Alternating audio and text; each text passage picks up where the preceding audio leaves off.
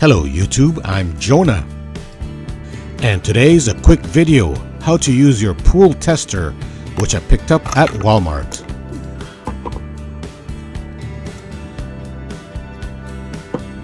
And here's your bottle of OTO which will check the chlorine level of your pool.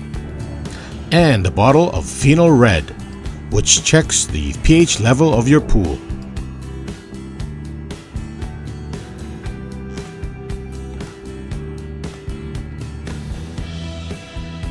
Notice the lines.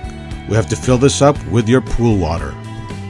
And notice the ideal range and color for your pH and your chlorine level.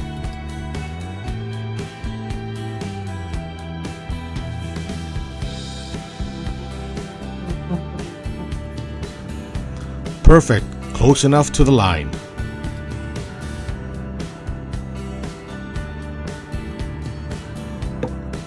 Now let's take the OTO, give it a good shake, and give it four drops on the chlorine and bromine side.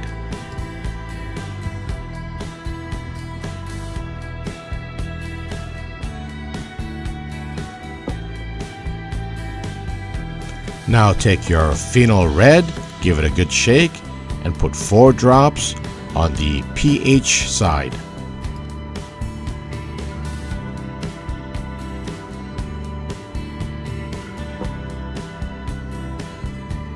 Now put on the proper colored caps and give it a good shake.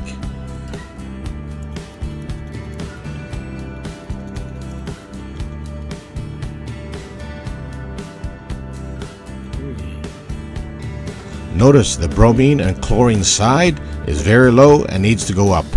My pH level is also very low and needs to go up.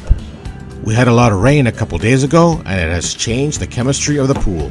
Now this pool tester tells me exactly what to do.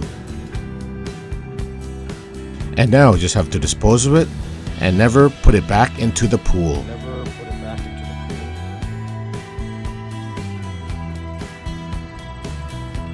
Don't forget to give it a good rinse a couple of times.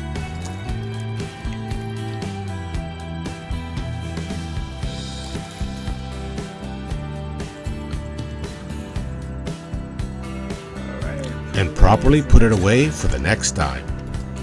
Oops, Butterfingers. If you find my video interesting and helpful, don't forget to give me a thumbs up, comment, and subscribe. Also hit the notification bell so you always get my latest video. Thanks for watching.